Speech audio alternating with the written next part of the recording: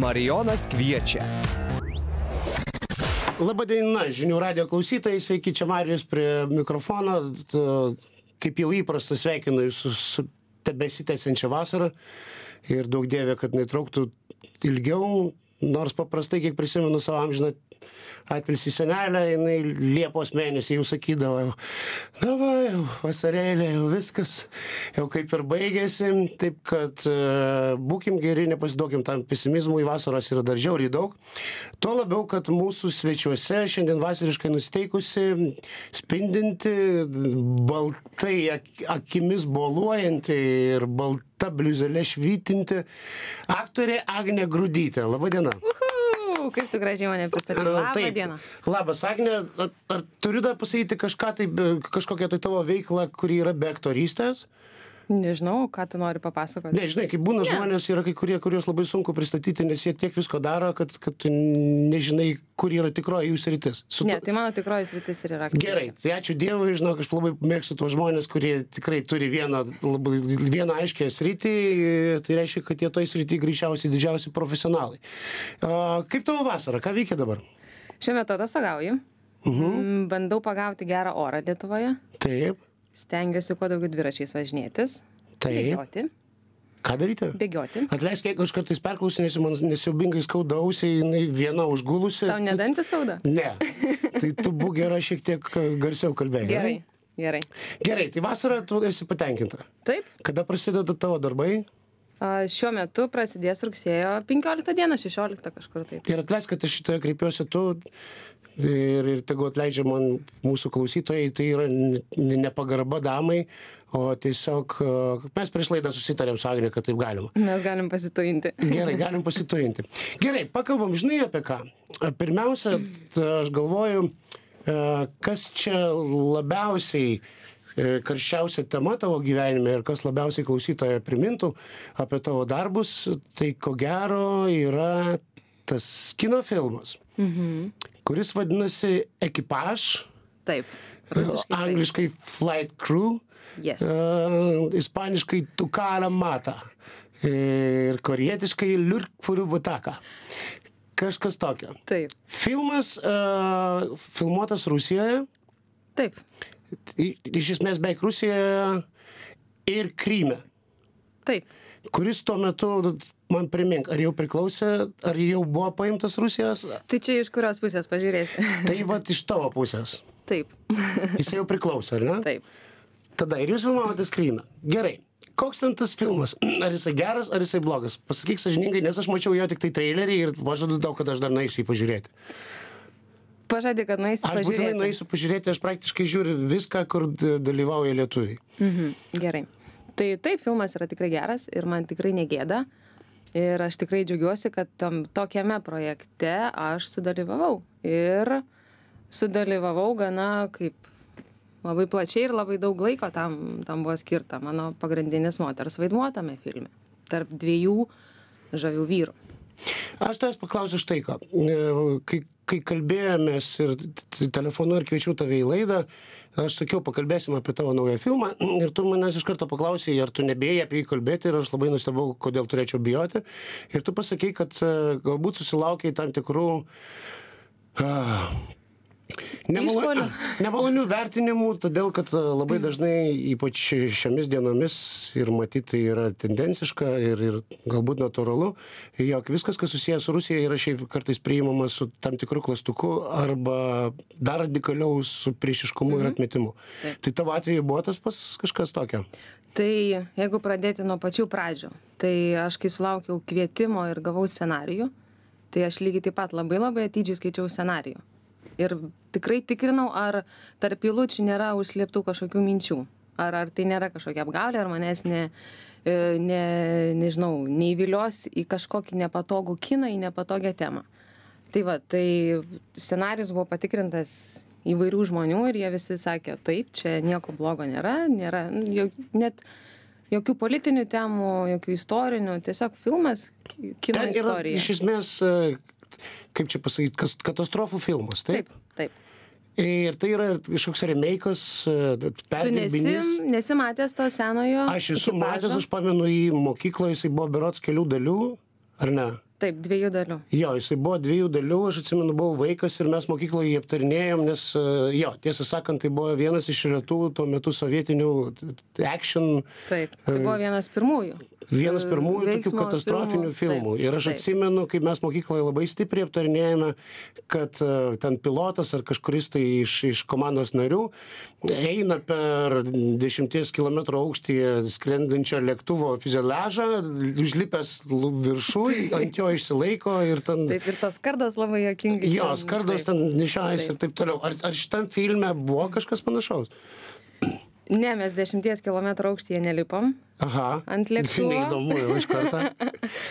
Tačiau, bet tu nematai to filmo, tai aš nelabai galiu pasakoti. Tu gali šiek tiek paspoilinti, tikrai, ne bėda. Aš maždaug įsivaizduoju. Ar tu įsivaizduoji, kaip manai, ar įmanoma iš vieno lėktuvo į kitą lėktuvą persėsti?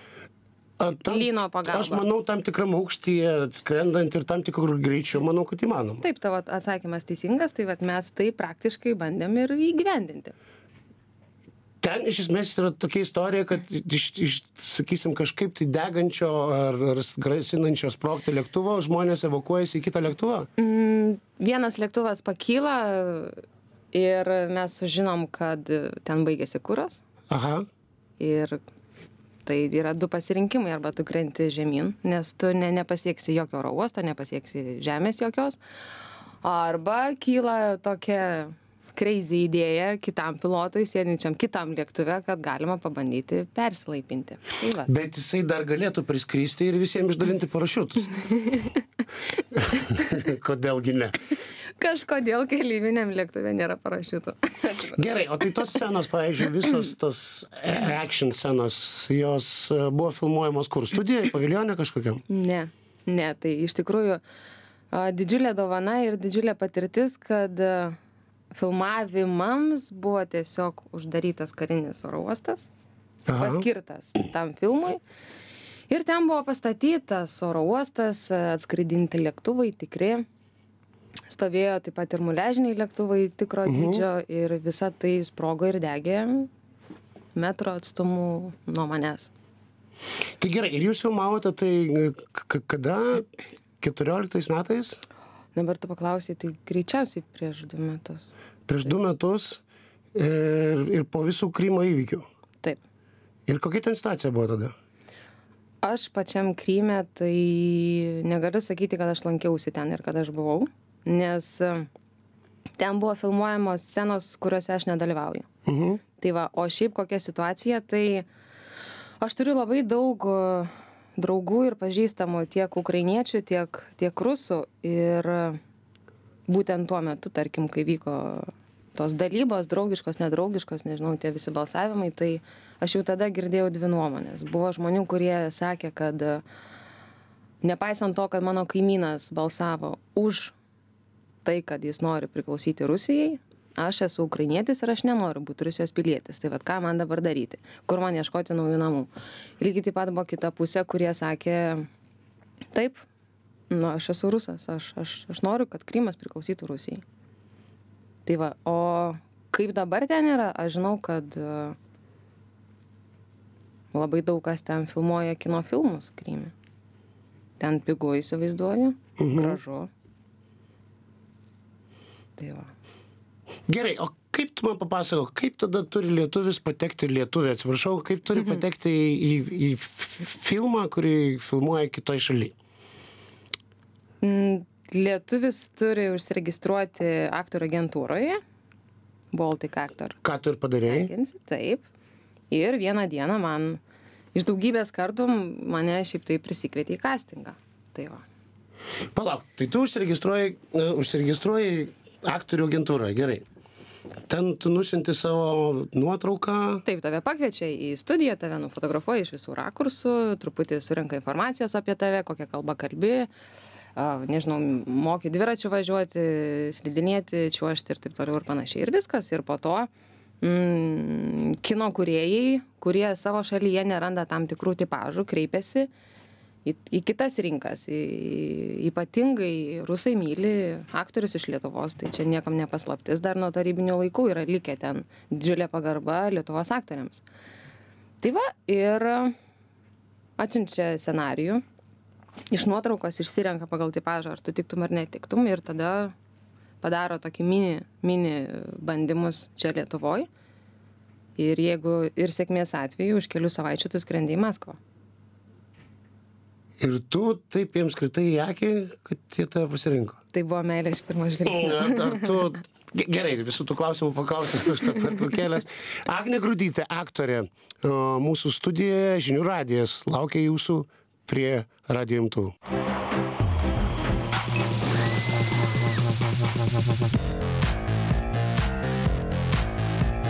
Marijonas kviečia. Protingiausio, intelektualiausio ir šiaip geraširdiškiausio radio studijoje šiandien vieši Agne Grudytė, aktorė. Labas, Agne, dar kartą. Labas. E, Tiems, kurie galbūt tik dabar įsijungia radio imtuvus. Agne, aš klausiu tas, kaip tu paka- pak- pakliuvai į filmą filmuojamą Rusijoje. Ir tu sakei, kad e, jo, gal jie būt savo šalyje neranda tipažo ir štai Lietuvaitę baltą jie rado. Man yra sunku suvokti iš esmės kartais, e, kokia jų intencija ir ar kada nors tu pagalvojai. Iš esmės jie turi kiek, kiek Rusijoje gyvena? 140 milijonų, kiek ten. A, Argi jiems sunku surasti e, gražią moterį, kuri jų ten apstu ir kuri mokėtų vaidinti štai tokį rolį? Tu savo klausai to, to klausimo? Savo patikėjai? Taip. Ir? Aš, aš kai tik susitikau su režisieriumi, aš iš karto jo klausiau, sakau, kodėl aš, nes visų pirma, tai aš labai prastai kalbu rusiškai. Labai. Tu nemoki rusiškai? Aš į Kievą nuskridau nemokėdama rusiškai kalbėti. Bet jie kažkodėl mane ne, nekalbančią rusiškai vis tiek patvirtino ir priėmė į savo serialą. Ir aš ten kalbu su didžiuliu akcentu, vaidinu e, iš Suomijos atvykusią Rusę, rusakalbę, kuri turi didelį akcentą. Tai va. Tai lygiai taip pat aš uždaviau tą klausimą ir sako, kad taip, sako, nepatikėsi, mūsų šalyje nėra moters, kuri galėtų atlikti šitą vaidmenį, būtent šitą. Ir tu kalbėjai su rusiško, turiuomenį su lietuviško akcentu rusiškai. A, tu sakai prastai kalbi, tau tiesiog surašydavo lietuvių raidėmis, raidėmis. a, Ne, kirillicą aš moku skaityti mokykloje. Nu, šiek tiek gaudysi ten. Taip. taip. Mašina, taip. kūrica. Liubliūnį, liubliūnį, Taip. Tai šitus tu dalykus, žinai. Atsiprašau, ir, ir ką, jie filme tavęs netgi neperdubliavo, jie paliko visą tai kaip yra. A, jie vis dėlto perdubliavo. Taip, filme jie mane perdubliavo. Tai iš tikrųjų buvo visai nieko, turint omeny, kad e, nekalbu laisvai rusiškai, tai man buvo labai lengva. Aš žinojau, kad vis tiek mane uždubliuos ir aš Tai tu visiškai... galėjai ne- bet ką tenai ne- vapalioti. Ne, taigi viskas matosi, aš viską supratau, ką aš kalbu. Nėra taip, kad aš bet ką ten kalbėjau. Yra viena scena, kur buvo toks tekstas ir kartais vat, būna žodžiai, kurių niekaip negali įsiminti, vat, niekaip negali jų, jų ištarti taisyklingai, ten priebarsiai pinasi. Tai yra viena scena, kur aš tą žodį, va taip užsidengus pasakiau. Užsidengusi delnu. Taip, taip. Tai va. O šiaip daugiau ne, niekada nečytinau, kaip pasakyti. Gerai, o tai kai žiūri, pavyzdžiui, į save iš šono ir, ir kažkas kalba ne tavo balsu, ko- koks jausmas tai nerzina? Ne, kažkaip aš labai natūraliai priemiau, nors tarkim mano duk dukros reakcija tai buvo iš karto, mama, čia ne tavo balsas. Nu, žinoma. Bet gražus tas balsas, nors jau. Gražu. Tarsi toksai seksualiai gražus, Taip. patrauklus. Taip, Ar toks skambantis kaip varpelis, ar šiek tiek prikimęs? šiek tiek prikimęs. Uhu. Tai tikrai ten ta, ta moteris aktorė labai labai daug padirbėjo. Ar galiu tavęs paklausti tokio tiesmuko klausimo? Gerai, aš jį paklausiu vis tiek. E, Kiek uždirba aktorius už tokią rolę? Už mano rolę? Taip, tavo rolė. Pavyzdžiui, na, tokiam vis tiek e, Rusi, Rusijos ki- kino pramonės, kino pramonėje, kuri bet kuriuo atveju, žinoma, e, stojasi ant kojų, aš įsivaizduoju, bando, turi ambicijų maždaug tap, tapti rimta ir kartais jiems pavyksta. Ko, kokie ten honorarai vyksta? Tai S- Slankioje. Mano kaip naujokės toje rinkoje honoraras nebuvo didelis ir kuo reikėtų, nežinau, didžiuotis, lyginant su kitais vietiniais aktoriais, kurie atlieka tokio svarbumo vaidmenis. Tai aš kai sužinojau, kiek uždirba mano kolega per vieną pamainą, tai nežinau, kai kurie žmonės turbūt tris metus dirba, kad tokią sumą gautų. Šitaip. Mhm. Tai yra nesuvokiama, tikrai nesuvokiama, o Hollywoode tai aš iš vis net neįs... Tai prasme, tai yra didžiuliai pinigai, taip. Jiems, aktoriams ten gerai. Klausyk, bet, bet tu gavai vis tiek mažiau negu tas rusų kolega. Tai Taip. Kažkokia diskriminacija, bet kuriuo atveju įvyko. Taip, tai apskritai Galbūt jie, yra diskriminacija. būdais- Moter, moteris turbūt labai retai kada uždirbs tiek, kiek vyras kine. Labai mažai moterų pasaulyje, kurios uždirba lygiai tiek pat, kiek jų kolegos vyrai aktoriai. Ir Lietuvoje tas pats. Ne, Lietuvoje truputį iš, iš vis kitaip yra. Lietuvoje priklauso nuo projekto, nuo prodiuserių, kartais visiems vienodai moka. Nepaisant to, nei, nei, nei kokio, ar tavo vaidmuo pagrindinis ar nepagrindinis. Ar tu turi bagažą, ar tu esi Mhm. naujokas kine.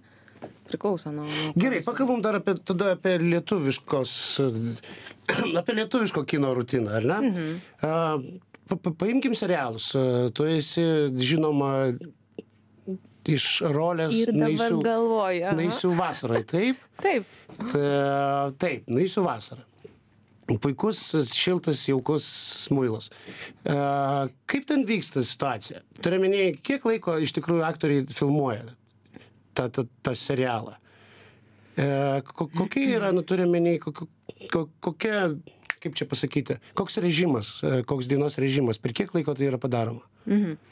Tai pats dienos režimas nelabai skiriasi nuo kino aikštelės. Skiriasi tik tais, e, kiek per dieną tu nufilmuoji vadinamo eterio, to tikro laiko. Tai, tarkim, jeigu filmuoja lietuviškus serialus, tai mm, žmonės dirba 10 arba 12 valandų ir nufilmuoja kartais ir po seriją į dieną. Per dieną. Taip. Kai tuo tarpu man pasisekė Kijeve, mano TV serialas per vieną pamainą nufilmuoja penkias minutės. Aš dar tada pri- priminsiu, kad, kad Agnė, be to, jog filmuojasi ir Lietuvos serialuose, jinai filmuojasi dar ir ukrainiečių seria- seriale, kuris vadinasi Newhatch. E, Tai yra uostytojas. Taip. Bet uostytojas ne ta blogąją prasme, kurią jūs galėjote pagalvoti, bet, bet uostytojas... gerąja. Lietuviškas Jis yra šito šuniukas. serialo Ne, jis ne pavadinimas yra kvapų detektyvas. Kvapų detektyvas. Taip, ten yra detektyvas, kuris e, savo uoslės pagalba nusprendžia, kas yra nusikaltėlis ar ne. Nu, šiaip grubiai tai papasakoja. Taip. Gerai, tai tenai yra, skiriasi šiek tiek nuo, nuo lietuviško filmavimo principų. Taip, nes visai kitas greitis, visai kitas tempas. e, Ten galima leisti savo pagalvoti, paieškoti rakurso geresnio, padaryti daugiau duplių, aptarti tavo liniją. Taip, ten viskas vyksta lėčiau, skrupulingiau, o... Jie kai- turi tiesiog didesnį biudžetą, jie gali sau leisti. Taip, viskas remiasi pinigus. Viskas atsiremia į pinigus. Taip, pinigai, pinigai, pinigai. O pinigai. lietuviai, aišku, pakniopstam, bėgte, bėgte, bėgte. Taip, Vienas jie- dublis ir gerai. Nesivarginkit, bičiuliai, žmo- žmonės supras. Taip. Taip? Nu, panašiai kartais būna. Tikrai? Taip. tai nereiškia, kad Lietuvoje mm, mažiau žmonės stengiasi padaryti gerai. Ne, tiesiog yra tokios aplinkybės ir tokios taisyklės žaidimo, kad tu turi greitai ir kokybiškai ir maksimum, čia ir dabar. Ten, nežinau, neturi tiek daug laiko. Nors tokie serialai ir Rusijoje filmuojami, ir, ir Ukrainoje. Visur yra tų tokių greitų, greitų, greitų, greitų. Tai čia. Gerai, tą serialo tekstą. Aš pa pasakysiu tau, kaip pakylas žiūrovas tų visų tų serialų. Man kartais susidaro įspūdis, kad, kad aktoriai ateina ir e, toks įspūdis, kad jie pakankamai laisvai improvizuoja, interpretuoja tą tekstą, kurį, kuris jiems buvo galbūt pakištas. Taip. Um, ar tu esi ta aktorė, kuri išmoksta viską žodis žodin ir būtent pasako taip, kaip reikia, ar, ar tu neišmoksti? Vėlgi priklauso nuo režisieriaus. Tarkim, Ukrainoje režisierius pats yra bent vienas ir iš autorių scenarijaus. Tai jam svarbus kiekvienas kablelis. Ten negalima nei vieno žodžio praleisti, niekaip. Tai man, kuri... Mm, Agne, būk gera, nepa, nepa, nepamiršk minties po pertraukėlės, gerai tą pasakysim. Atsimeni, apie ką kalbam? apie scenarijų. Apie scenarijų. Gerai, grįžtame į žinių radiją.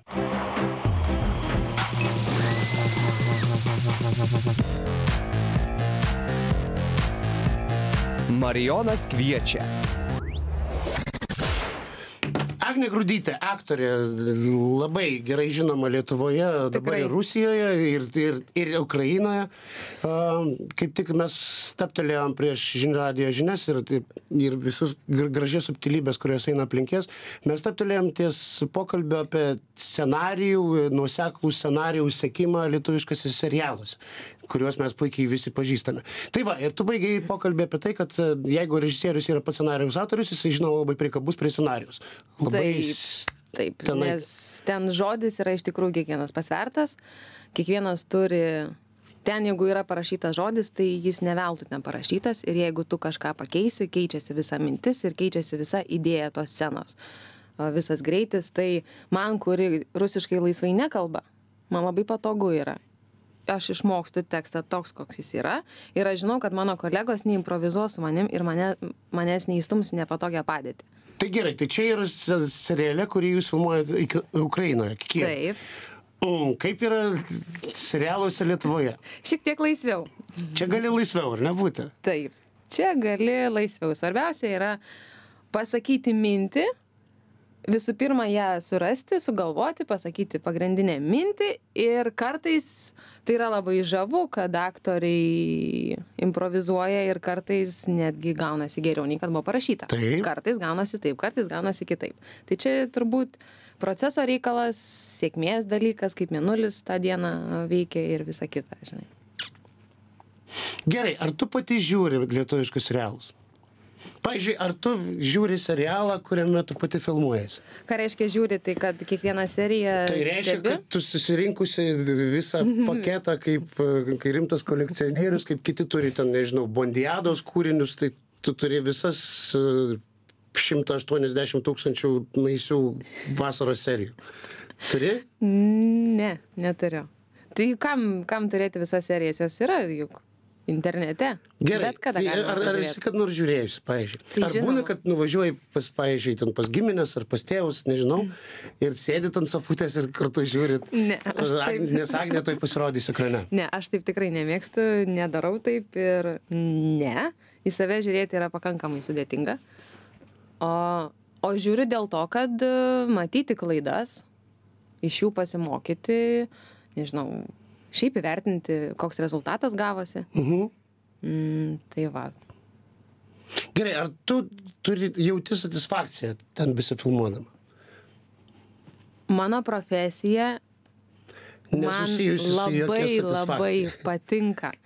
Ir šiandien man kaip tik viena draugė sako, kada tu būni laiminga, tai mano pirmoji mintis atėjo, kai aš dirbu. Kai aš Aha. filmuojuosi, aš tikrai būnu laiminga. Tai va, Bet kur? Greičiausiai. Bet kuriam filme.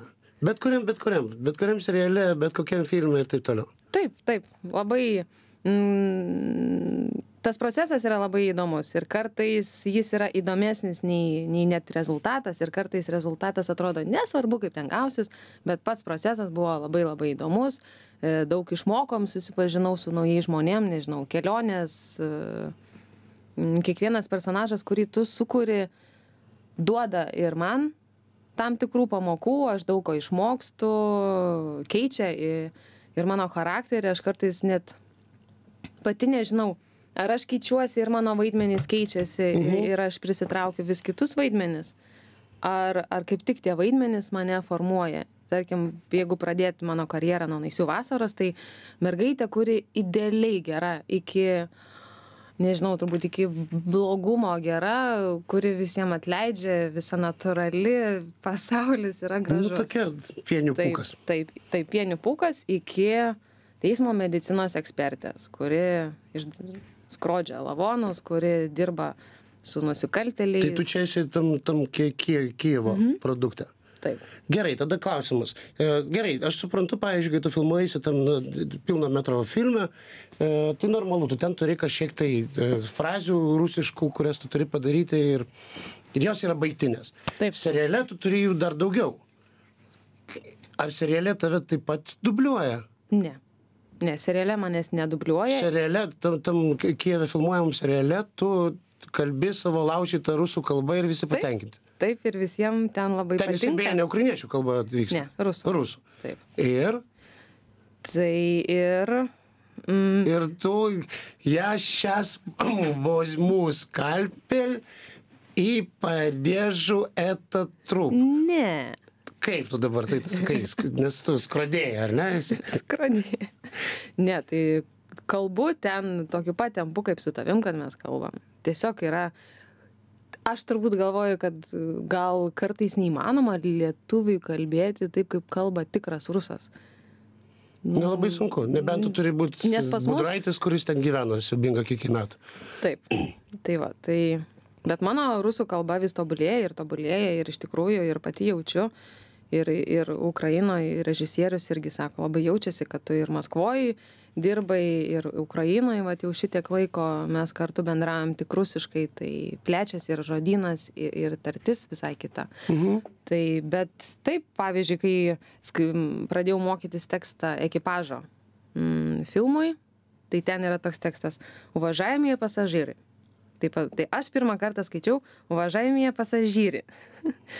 Būti pris, pristignut rimny. Ne, ten kitoks tekstas. Yra truputį, nes aš esu nestiordėse ten, o pilotė. Gerai, atsiprašau. Žiūrėk, Prašom buvau nemaišyti. Pažeminau toje pareigose. Taip. Gerai, atsiprašau tikrai.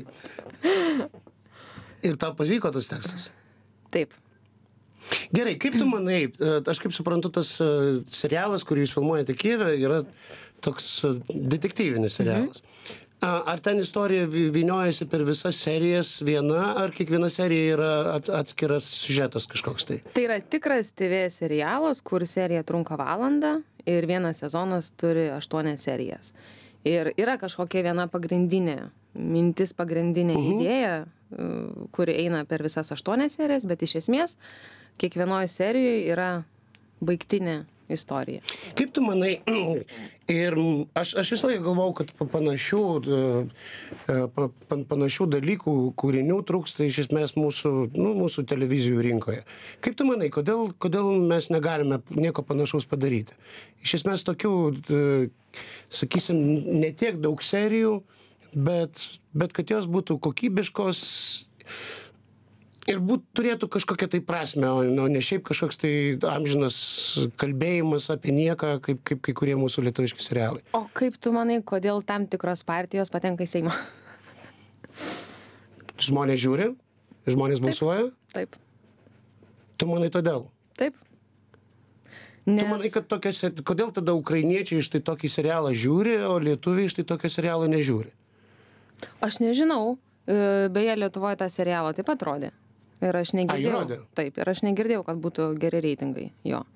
Kai tuo tarpu e, tas serialas, tarkim, Rusijoje yra numeris vienas per dešimties metų e, kanalo istoriją pagal žiūrimumą. Kijeve lygiai taip pat žmonės ten visi, visi žiūrėjo tą serialą. Lietuvoje neįdomu žmonėms. Aš nežinau kodėl. Ir aš tikiu, kad geriausiai į tą klausimą gali atsakyti produceriai, kurie skaičiuoja pinigus, kurie tikrai uh, moka viską pasverti, kiek reikia investuoti ir kad tu kad turėtum kažkokią gražą. Tai jeigu Lietuvoje kol kas neatsirado tokių investuotojų, vadinasi, kol kas taip. gražos ir negausim. Greičiausiai. Gerai, noriu paliesti dar vieną tavo filmą, pasilikau jį čia pabaigai. Kokį? Valentinas vienas. O, kaip gerai. Gerai, Valentinas vienas. Mm, tai yra vienas iš tų tokių įdomių lietuviškų produktų. Vienas iš pirmųjų, ko gero, tokių erotinių, Net gal pirmasis. galbūt netgi pirmasis toksai toks lietuviškas, dravus, dravus lietuviškas bandymas e, kalbėti atvirai apie seksą. Tokia, vadinkime, sekso komedija, ar ne? Taip, Ar, ar, taip, taip. Taip. Tas žanras naujas ir, ir kaip supratau, jisai buvo labai pavykęs ir, ir pagal tai, kaip publika plūdo į kino teatrus, tai buvo laukiamas, nes visi be proto nori apie tai pakalbėti. Gerai, aktoriams, kurie filmuojasi tenai. Man visą laiką atrodė, kad štai įdomu, gerai, tu vis tiek, sakysim, naisiuose, kaip tu pasakoji, tavo personažas yra gera mergaitė. A, tenai kit, kitur, ko gero, ten gerai, ten kažkokia skrodėja, ten kitur pilotė. Tokios garbingos profesijos. Taip. Čiagi tu turi prieš kameras ir po to prieš žiūrovus kalbėti tam tikrus iš esmės nešvankius dalykus bet labai kas yra keista kad tu turi juos kalbėti netgi pakankamai švankiai nes vis dėlto tai yra vis tiek kinas nes taip nešvankiai kaip mes kalbam miegamuosiuose mes vis tiek negalim to sau leisti nes tai yra nu skamba grubiai ir taip toliau. Kaip tu jautiesi vat besifilmuodama tokioj scenoj? Tokia jau ta aktoriaus profesija kad jeigu tu pasakei taip aš imuosi šito vaidmens tai negali būt nepatogu tiesiog tavo personažas taip kalba, tavo personažas taip daro ir tai, tai yra jam normalu, nes, nežinau, susikūrė istorijų, kodėl jis būtent toks, kodėl ta mano Kristina va tokia yra, žinai. Tai visiems tiem veiksmam aš turėjau pateisinimus ir taip. Uh, aš net nenoriu čia vartoti šitame eterį visų tų žodžių, kurie buvo tu vartojami. nevartok jeigu reiks tai aš pavartosiu ir po to išlėksiu iš darbo gerai Nes aš iki šiol dar išgirstu tam tikras frazes iš to filmo. Ir sako, Kur? aš ne, tarp, tarp žmonių, o žinai, kas yra juokingiausia, Tu- man buvo net kelis kartus. E, Sėdėm vienoje kompanijoje su gana gerai pažįstamais bičiuliais ir, ir kažkaip išeina kalba apie lietuvišką kiną, apie prisimena va, tą vieną pirmųjų erotinių komedijų Valentinas vienas ir sako, va, ten visokios tos scenos. Ir aš taip šypsausi ir klausausi, ką žmonės kalba. Tai manęs niekas net pažįsta. Ir aš kai sakau, tai aš ten vaidinau. Sakau, kur? tu sakai kas net pažįstu Mano- draugai Aš ekrane atrodo visai kitaip nei gatvėje vaikštau. jie žiopli aš tave iš ir- karto tada atpažinau Tik tais. Nes Gerai, tai padarom- mane iki to laiko žinoj. Padarom dar pertraukėlę ir grįšime į žinių radiją į pokalbį su Agne Grudytė.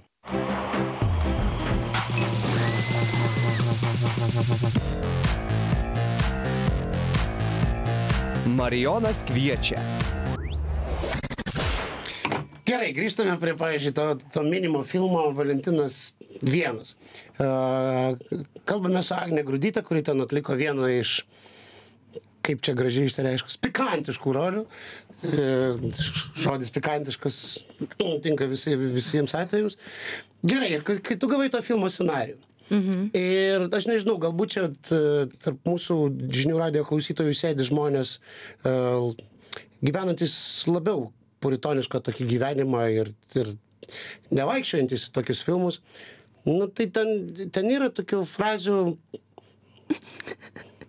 Kaip čia jas dabar? Kaip gražiau jas pateikti. Nu, jeigu neišeina pacituoti, tai čia nepapasakosiu. Gerai, tai tu tas, tas frazes, kai tu gavai pirmą kartą scenarijų ir tu skaitai. E, to vis, vis dėlto vis tiek nu, nebuvo šoko, kad tau reikės tai sakyti. Mm, taip, tai, tai ne tas pats, kas pasakyti labas. Taip. Tikrai ne tas Ir ne pats. tas pats, kas e, važiavimai pasažyrai. Taip, taip. Tai priklauso turbūt nuo to, kaip tai priimi. Jeigu ir priimi kaip, kaip žaidimą, kaip, nežinau, neužsikrauni savo didžiulės atsakomybės, ką pagalvos žmonės, mm, kokią vertę tu sukursi ar nesukursi, tai tiesiog tu paimi ir pasakai. Gerai, Visiems ten, aikštelėje labai smagu, labai gera nuotaika, visi pakilėti. klausyk, bet jūs juokitės tai filmuodami. Tai taip, Nes ten yra, nu, aš, pavyzdžiui, aš kartais galvodavau, ten, nu, sakysim, gerai, tos sekso, savo, tos sekso scenos. Uh, žiūri, aš kartais galvodavau, viešpatė, nu taip nebūna gyvenime, aš nesu taip daręs. tai gal tu nesi taip daręs? Tai va, bet tai man įdomu, koks kiekis žmonių tada yra tai darę, nes jeigu tu orientuojasi į didžiumą, ne į universalią didžiumą. Šiaip turiu menį, nesi taip kalbėjęs, nes, nu, paprastai taip kažkaip, ką žinau, kažkaip vartoji kitus žodžius visiškai. Ar tai atrodo natūralu? Ta prasme, turiu menį, kai tu ten kalbėjai, ar tau atrodo tai natūraliai? Ar tai yra gyvenimiška?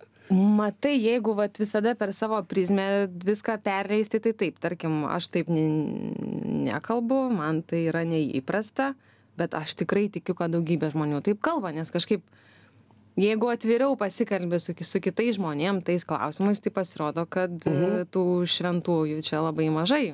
Ne, šventų tai šiaip tarp mūsų, ne kažką. Šiaip. Nu, tik tu ir aš. O klausyk, bet aš įsivaizduoju, kad jūs filmuodami visą tai turėjot, nu, žiauriai žvengti. Šiaip ir, ir, vis, ir visą filmavimo grupę. Taip, taip, taip. Ten turėjo būti labai daug juokingų Labai gera buvo atmosfera, tikrai labai labai. Ir kas, kas ir yra labai svarbu, ypač filmuojant tokias scenas, turi būti labai patogu visiems. Ir nusirengti a, prieš, nežinau, dešimt vyrų tai nėra labai paprasta. Tai, tarkim, Yra vis tiek kaž, kažkoks toks nejaukumas.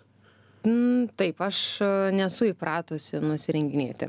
Prieš, nežinau, sakau, prieš dešimt ar, ar kiek vyrų, tai tarkim, Maskvoje, kai filmavome ekipažą, tai už kadro visada dirbdavo 60 žmonių. Ir kai Kiek? mes 60.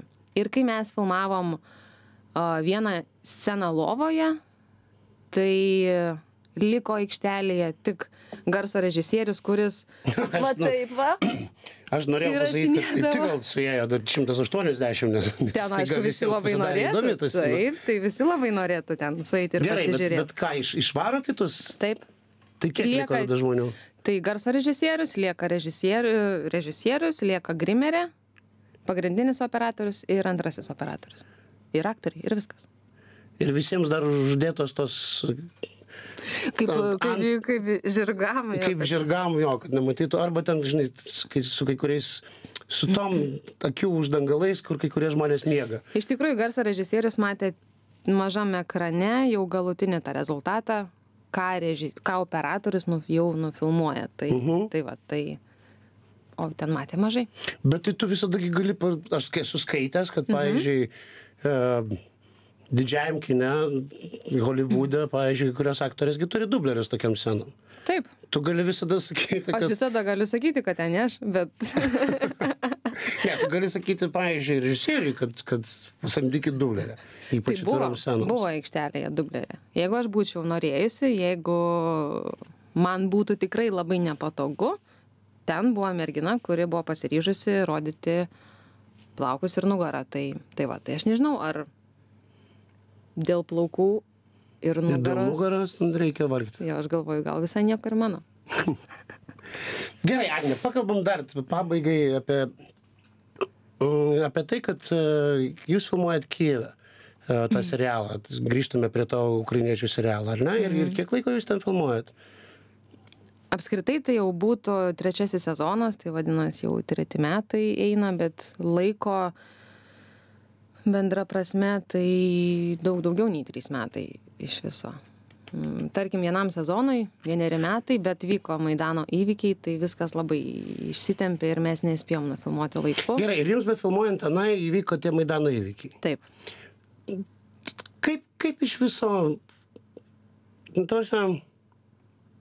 Aš žinai, e, neseniai buvau dabar nuskridęs į Paryžių, kaip tik e, po, po tų Nicos įvykių. Mhm. Ir atsimenu, stebėjau miestą ir, ir, ir galvojau, na, mes žmonės vis tiek esame unikalūs padarai, nes, nes e, ten kažkur gali beprotis važinėtis su 19 tonų automobiliu per žmonių galvas, o kažkur tai, rodos netoli, toj pačioj valstybėje vyksta toks pats įprastas gyvenimas, žmonės ryja krabus, valgo krosanus, tarsi nieko... Taip nieko važinėjasi prabangiais automobiliais, Taip, ir tarsi nieko visiškai gyvenime neįvyko, nes tavęs tai neišmušė iš vėžių, nes tavęs ko gero tai tiesiogiai neliečia, o jeigu ir liečia, tu nesi tas padaras, kuris lėkia ir raudoja kiekvieną dieną. Tai va man įdomu, tas pats įvykis Ukrainoje, ar ne? E, Šalis, bent jau dalis šalies, lyg ir kare, e, kažkur yra įtampa, e, politinė suirutė. Kaip ten viskas vyksta, va, tas gyvenimas, bet šalis toliau savo sėkmingai filmuoja serialus, žmonės daro savo darbus, ar, ar tai jaučiasi, ar tai tvyro ore, sakysim, toj šalyje, kas vyksta. Mhm. Mm, aš pradėjau filmuotis dar iki Maidano įvykio, tai buvo rugsėjo mėno. Tai kas man at- atskridus į šalį iš karto krito į akis, kad ten žmonės Kieve nekalba ukrainietiškai. Ir aš tikrai kelis kartus klausiau, sakau, o kaip taip gali būti, kad šalyje nekalbama gimtaja kalba. Ir dar net taip sakau, ar jūs nebijot, kad jūs prarasit ir savo identitetą, nežinau, nu, Mhm. kaip taip. Ir po kelių mėnesių prasidėjo tie Maidano įvykiai. Tai po Maidano, kuo tikrai Kievas pasikeitė, tai ten atsirado daug žmonių kalbančių ukrainiečių kalbą. Tai netapo gėda, tai netapo tik kaimiečių kalba. Jie tokiu būdu išmoko didžiuotis savo šalimi, savo kalba, savo tautybė, savo rūbais. Labai išpopuliarėjo visi vainikai ukrainietiški. O Bet būtent, būtent po Maidano. Taip, tikrai taip. Tokia prasidėjo kaip ir pas mus kadaise aušra, tokia ta, tau, tautiškumo. Taip, tai jeigu žmonėm reikia tokio sukrėtimo, kad, kad tu suprastum, kad tavo gimtoji kalba nėra gėda, ji neneša gėdos tau, kad tu kalbi gimtają kalbą, taisyklingai, gražiai, tai matyt taip turi būti. O keiščiausia tai, kai aš buvau, gal buvo šeši mėnesiai prabėgę po visų tų krūvinųjų įvykių Maidane, jau ten kai prasidėjo šūviai, tai tuose keliuose kvadratiniuose metruose, kur buvo visiškai įvykių, tas visas epicentras, tai ten tvyro tikrai labai slogi nuotaika. Labai slogi, ten vaikšto žmonės, kurie renka aukas. Ir, o tu, nežinau, pasižiūri į kairę ir tu matai didžiuliai Mercedesai. Žmonės iš tikrųjų švenčia gyvenimą, niekas ne dėl, ne dėl nieko nepergyvena. Viskas ir aš taip stoviu ir galvoju, kartais atrodo, kad mums gyvenantiems Lietuvoje labiau rūpi, kas vyksta šalyje, nei tam žmogui, kuris gyvena Kijeve. Kaip ir tu sakai, vat, tu vaikštai Paryžiuje ir matai, kad niekas nesustoja. Ir iš tikrųjų niekas nesustoja. Visiškai niekas nesustoja. Ir kai matai viską vat, iš daugybės, daugybės pusių, pasijunti labai labai mažas ir supranti, kad tu nevelnio nieko nežinai ir nevelnio nieko nesupranti. Jo, dėja. Ir galbūt daugelis nesužinosim. Agne Grudytė, žinių radijas. Ačiū tau, Agne. Ačiū tau labai.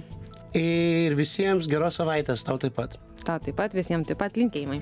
Iki. Jūs klausotės žinių radio.